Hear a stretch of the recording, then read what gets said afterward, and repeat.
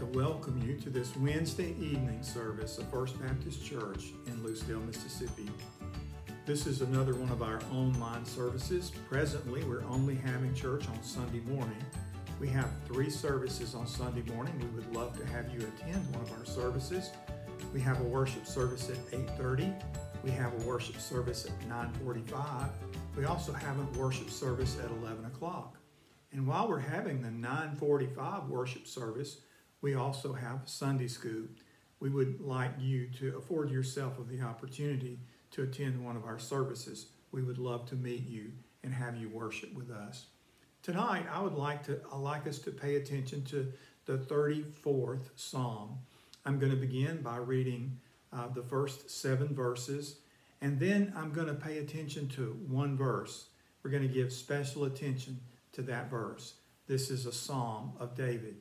David said, I will bless the Lord at all times. His praise shall continually be in my mouth. My soul makes its boast in the Lord. Let the humble hear and be glad. Oh, magnify the Lord with me, and let us exalt his name together.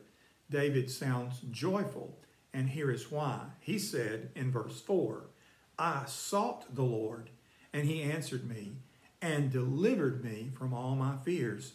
Those who look to him are radiant, and their faces shall never be ashamed. This poor man cried, and the Lord heard him and saved him out of all his troubles. The angel of the Lord encamps around those who fear him and delivers them. So I want to begin tonight by focusing on verse 6. Verse 6 makes one simple statement out of which David really shares the rest of the psalm. This is his experience. He said, This poor man cried, and the Lord heard him and saved him out of all his troubles. So, what do we have here as we read these verses, especially this one? First, we have a personal testimony. This is what David said about himself. He said, This man, me. Later he says, I sought the Lord. He's not ashamed to identify with God. Isn't it true that a man who might be ashamed to identify with the Lord in a time of ease is often ready to identify with him in a time of crisis or need? So, this is a personal testimony. Do you have a story of how God delivered you? David told his story here in the book of Psalms. We're reading it. That testimony continues to give glory to God. Is it time that you begin to tell yours? Is that what God is telling you tonight? So, first, this is David's personal testimony. Second, this is a testimony of poverty. It's a testimony of need. David said, This poor man, a man who never has a need, or at least never realizes and recognizes his need, never has a need for God. So, this is David's testimony in his need, in his poverty, at a time when he recognizes that he has a keen awareness of a great need for God. So, I would like to ask you is there a poverty in your life? Some pressing need that is out of your power to meet? Do you stand in help that you see no way of receiving? A need in your life beyond that which mortal man can meet. This was David's poverty. He had nowhere, nowhere to turn. He was destitute and desperate. Is that where you are as you listen tonight? So, first, this is David's personal testimony. Second, it is a testimony of poverty. And third, this is a testimony of brokenness. David said, This poor man cried. Were there tears on his face? We don't know, but obviously there were tears in his heart. Is that what is causing you to perhaps listen more intently to this devotional tonight than you usually do? Do you bear some burden of brokenness? You find yourself not only needy, but overwhelmed in the face of your need, helplessly poor, as needy as you have ever been, then you can join David in giving a testimony of brokenness. You are the poor person who cries. You will notice that he didn't say, This poor man prayed, but we know that from reading this psalm that this is also, fourth, a testimony of prayer. He said, This poor man cried, and the Lord heard.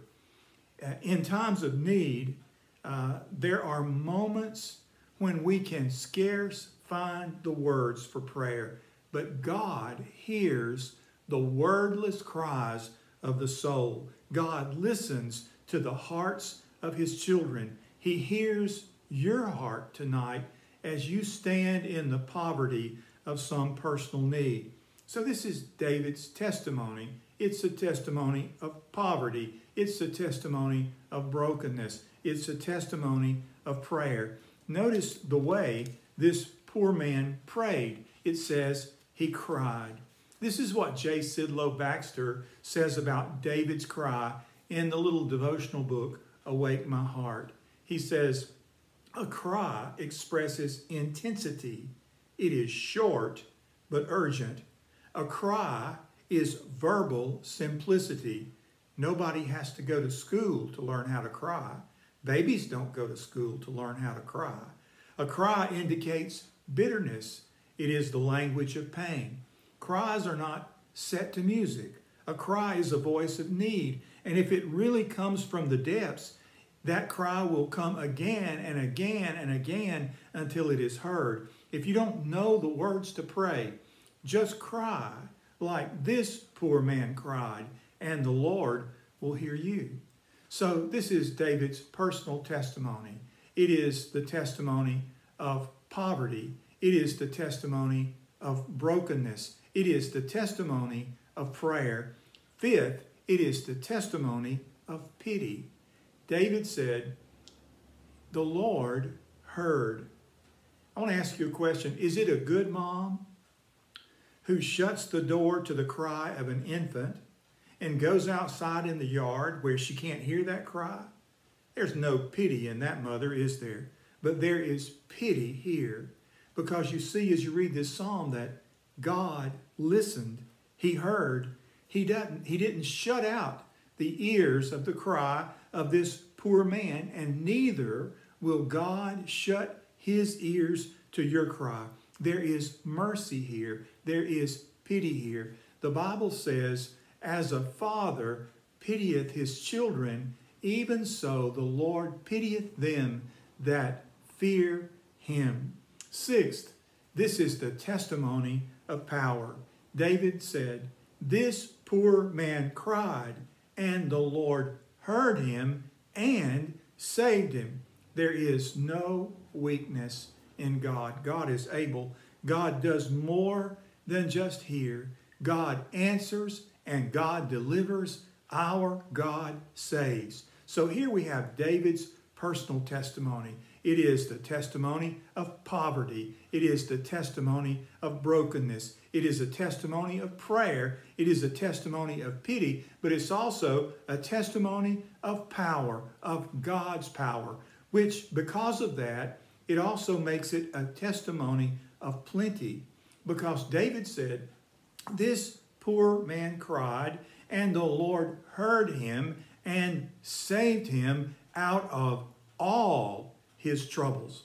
You see, God didn't work halfway in David's life, and God won't, won't work halfway in your life. God did everything that needed to be done. He saved him out of all his troubles. Now, I don't know the difference between being saved in trouble and out of trouble, but if God is going to save me in it, I hope He also saves me out of it, don't you? What a testimony we have in this one verse. Can you give such a testimony? Maybe not. Well, then why? You may be in trouble, but not out of it. You may be poor and needy and helpless because of it. You may be broken by it. It may be personal to you, just as David's trouble was personal to him, but you may not know what to do. Look, David didn't know what to do either. There was nothing he could do. All he could do was cry. And if that's all that you can do, then cry. Let God hear your heart. That's all David could do, and God did the rest. And may he do the same for you. David said in this psalm, going back to verse 4, he said, I sought the Lord. The Hebrew word that's translated salt originally meant to tread out grain or to beat a path. It came to mean to seek out. We use that same expression, really. You know, sometimes we'll say, I beat a path in his direction. It means essentially there was no way to get there. It was so important to get there that I cut a path through the bush and the briars to get there. I was desperate. David beat a path to God. Is that what you need to do tonight? Are you facing desperate times or a desperate situation? David said, I beat a path to the Lord's door. I sought the Lord, and he answered me. He knocked, God heard, and God answered. Is God listening to you tonight? Are you knocking? What prompted David to beat a path to God? Look at the last part of verse 4. David talked about his fears. Fear will prompt you to do many things. Often it will prompt you to do the wrong thing. But David's fear prompted him to cry out to the Lord, to seek the Lord. You know, I know for a fact that we all have fears. It doesn't matter how big a man is or how mature a man is, he still has fears in his life. I know I do. Some of those things that we are afraid about are, are events far down the road, some unsettling uncertainty in our future.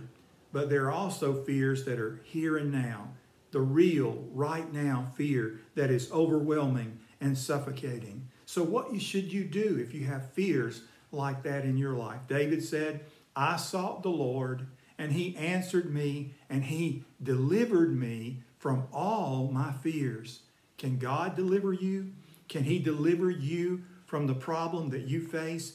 Can he deliver you from the fear that that problem has brought into your life, the fear that hangs like a dark cloud over your mind and heart?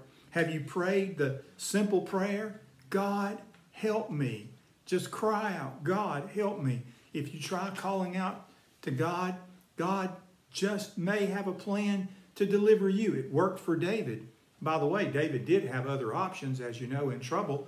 He had the, the sword of Goliath in his possession. He could have tried fighting his way out of trouble. He was an experienced soldier by this time, but instead of fighting, instead of acting out of his strength, he recognized his absolute weakness and his utter poverty in the face of his problems. He was helpless and he cried out to God.